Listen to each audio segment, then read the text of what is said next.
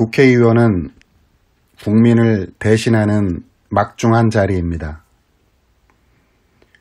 국회의원은 국민의 소리를 대변하는 사람이며 국가와 국민의 안위를 위해 보살피고 보듬는 사람입니다. 그러므로 국민의 의사에 반할 경우 그 효용 가치가 없으며 스스로 그 자리에서 내려오는 것이 마땅했습니다.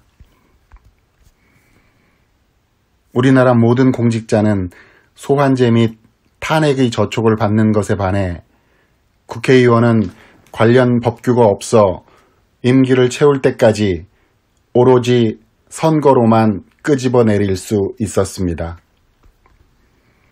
이제 열린민주당이 1호 공약으로 내세웠던 국회의원 국민소환제 도입을 6월 8일 당론 1호 법안으로 국회 의안과에 제출했습니다.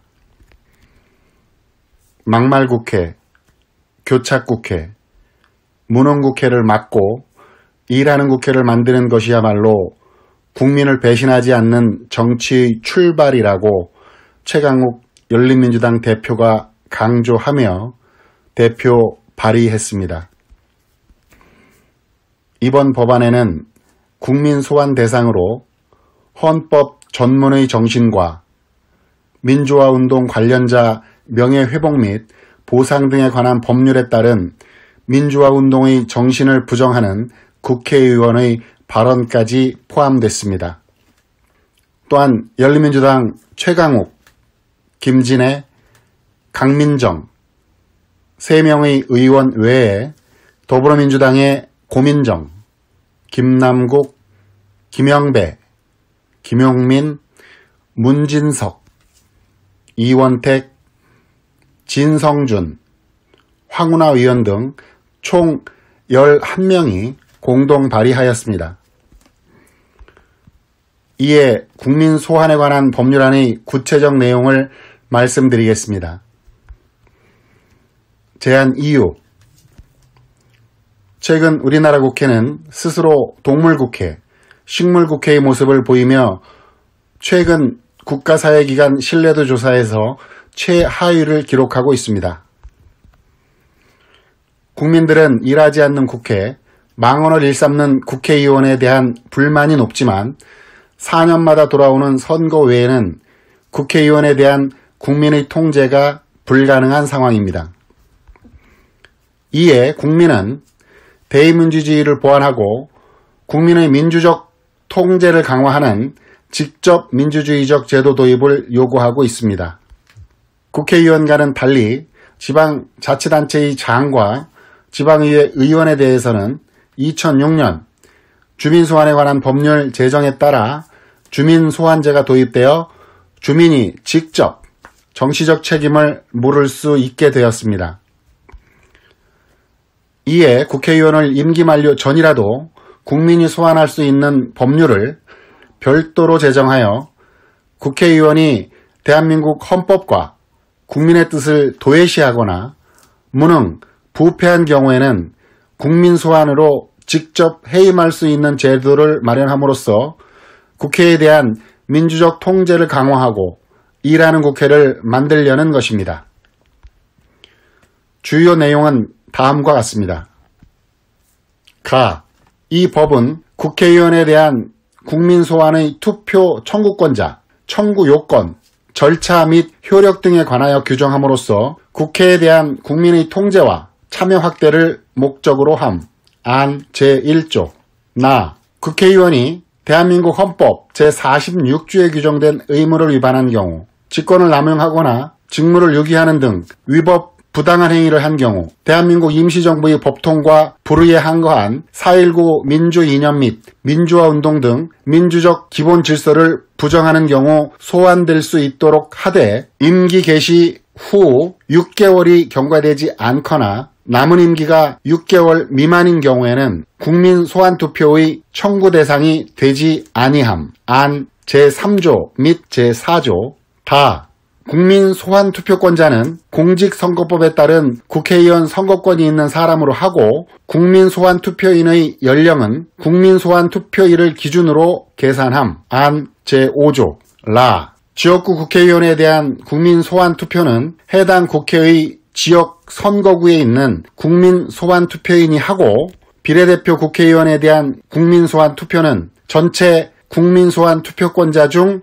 지역별로 인구 비례에 따라 균등하게 선정된 국민 소환 투표인이 하되 그 수는 국민 소환 투표권자 총수를 지역구 국회의원 정수로 나눈 수로 하도록 함. 안 제5조 마 국민 소환 투표 임명부는 구시 군의 장이 작성하도록 하고 투표일에 투표할 수 없는 사람은 거수 투표 신고를 하도록 함. 안 제6조 바 비례대표 국회의원의 국민소환 투표 사무는 중앙선거관리위원회가 지역구 국회의원의 국민소환 투표 사무는 해당 구 시 군 선거관리위원회가 관리하도록 함. 제8조 1항 4. 지역구 국회의원에 대하여는 국민소환 투표가 발의되기 직전 국회의원 총선거의 전국 평균 투표율의 100분의 15 이상에 해당하는 지역구 국민소환 투표 청구권자의 서명으로 비례대표 국회의원에 대하여는 국민소환 투표 청구권자 총수를 지역구 국회의원 정수로 나눈 수에 직전 국회의원 총선거의 전국 평균 투표율의 100분의 15 이상에 해당하는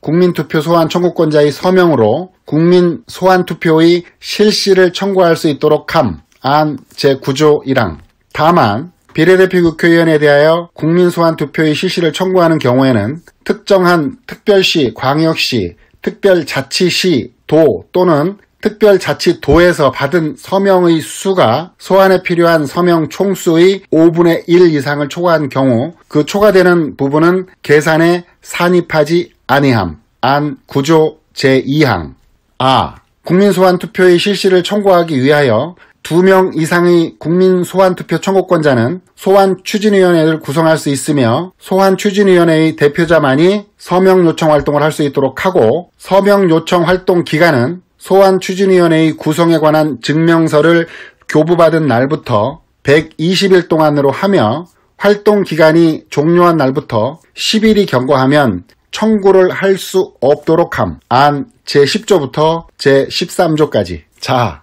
관할 선거관리위원회는 소환 청구인 서명부를 심사하여 소환 청구 요건에 부합하지 않는 경우에는 청구를 각하하고 적법한 경우에는 그 요지를 공표하고 소환 추진위원회의 대표자와 국민 소환 투표 대상자 및 국회의장에게 통지하며 국민 소환 투표일과 국민 소환 투표안을 공고하여 발의함. 안 제14조부터 제16조까지 차 국민소환 투표일은 국민소환 투표안의 공고일부터 20일 이상 30일 이하의 범위에서 관할 선거관리위원회가 결정함. 안 제19조. 카. 국민소환 투표운동 기간은 공고일의 다음 날부터 투표일 전일까지로 함. 안 제25조 제1항. 타. 국민소환 투표 대상자는 국민소환 투표안을 공고한 때부터 국민소환 투표 결과가 공표될 때까지 그 권한 행사가 정지되며 그 정지 기간 동안 공직선거법 제111조에 따른 의정활동 보고를 할 수 없도록 함. 안 제29조. 파. 국민소환 투표는 국민소환 투표인 총수의 3분의 1 이상의 투표와 유효 투표 총수의 과반수의 찬성으로 확정함. 안 제30조 제1항 하 국민소환이 확정된 때에는 국민소환 대상자는 그 결과가 공표된 시점부터 그 직을 상실하며 그로 인한 보궐선거 후보자로 등록할 수 없음. 안 제31조 거 국민소환 투표의 효력에 관하여 이의가 있는 국민소환 투표 대상자 또는 국민소환 투표인 총수의 100분의 5 이상의 서명을 받은 소환 추진위원회의 대표자는 국민소환 투표 결과가 공표된 날로부터 30일 이내에 관할 선거관리위원회의 위원장을 피고로 하여 대법원에 소를 제기할 수 있도록 함. 안 제32조 1항 이상 열린민주당 최강욱 대표 외에 11명의 의원들이 발의한 국민소환에 관한 법률안의 구체적인 내용이었습니다. 이 법률안이 국회 본회의를 통과해 가결되어야만 효력을 발휘합니다만 그동안 표류하다 폐기된 때와는 성난 국민들의 바다 결혼부터 다르다는 것을 아셔야 할 것입니다. 지금 대한민국은 G11으로 거론되는 선진국 대열에 당당히 초대받은 국가입니다. 이에 국민들은 물어 뜯고 발목 잡고 원회에서 팔짱 끼고 구호나 외치는 그런 띨띨한 국회의원들을 더 이상 묵과할 수 없다는 것입니다. 자랑스러운 국민들은 국가 위상에 걸맞는 위대한 국회의원들을 가지고 싶어 합니다. 21대 국회의원 여러분들께서 이제 제발 부합해 주셔야 합니다. 그동안 동식물 국회, 막말, 무능, 교착 국회와는 다른 모습을 보여주셔야 합니다. 이제는 전철 타는 것, 마스크 착용하는 것, 택시 타는 것까지 배워야 하는 국회의원들을 데리고 정치 운운했던 코미디 같은 국회의원들은 쳐다보지도 않을 것입니다. 이번 21대 국회는 세계 속의 대한민국, 위대한 국회의원들과 함께 조국의 천만 년을 준비했다는 자부심을 가지고 싶은 국민들의 열망을 실현시켜 주시기 바랍니다. 그렇지 않으면 당신은 소환됩니다. 마스크 끼고 전철이나 택시 타야 합니다.